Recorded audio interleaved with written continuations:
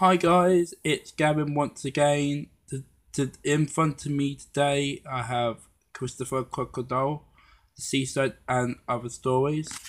I just got this in the post today, so I actually really pleased to get this. I had another copy of this, but unfortunately, it, I lost it. So this one's in perfect condition. It's just got, I think it's just got a new box because I think it's, the original box was broken. Because as you can see, I'm not sure because I think it's come with slip cover. So here's a slip cover, and there's the disc itself. And the disc was must be a bit scratched, but it's been cleaned, so I'm pleased about that. Oh, sorry. Um, sorry guys, got a bit sore throat. So the wrenches are seaside, chairlift, hat.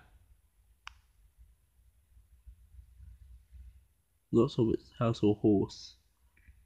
Uh, France, time machine, cat, fire, or Af- and Africa.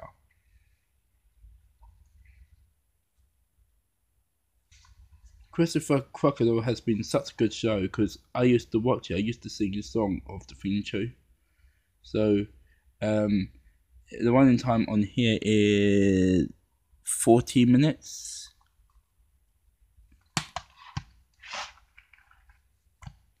Guys, you should watch this program because it's so it's actually very good.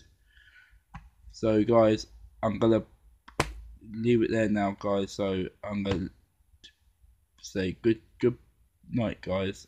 I was hoping I'll load some more videos soon. So the next video, I'm hoping to do is a Rosie and Jim DVD in a few hours. But I've got a lot of kids' DVDs. Everyone knows that. I've got so many.